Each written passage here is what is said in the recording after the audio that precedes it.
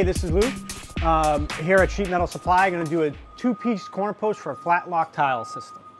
I have some pre-drilled holes for that just to, to make it go a little bit quicker, but you'll see as, as I drop that panel in. And I'm going to take my secondary small piece in that fashion there, and that's going to go right on top of that. This one's going to be a little bit different. This one I want to keep up just a little bit higher. If I run that down there, I'm not going to be able to hook my panels in. And to keep this from sliding, when I put my clip in, I'm going to make sure I give it a little bit of a notch. I'm going to fold that over just to keep it from sliding.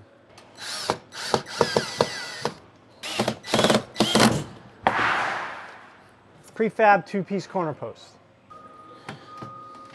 Now I'm just going to hook the panel, slides it right in place, nice and easy. Some guys don't mind, they'll actually take the panel, drop that panel in place, get it to right to where you need it to be. I'm to go just a hair high so I can see what my edge looks like there.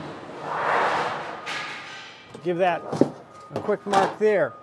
And I'm going to have to fabricate that panel around that edge. Take my speed square, and this making my cut line right here. I'm going to actually fold that line over at about 26, 25 millimeters.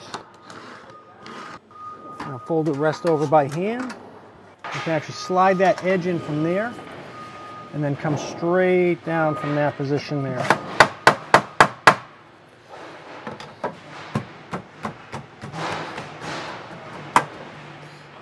You hear a little bit of a click that tells me that it went by the base. I'll push that in there, push it in tight, lifting that up.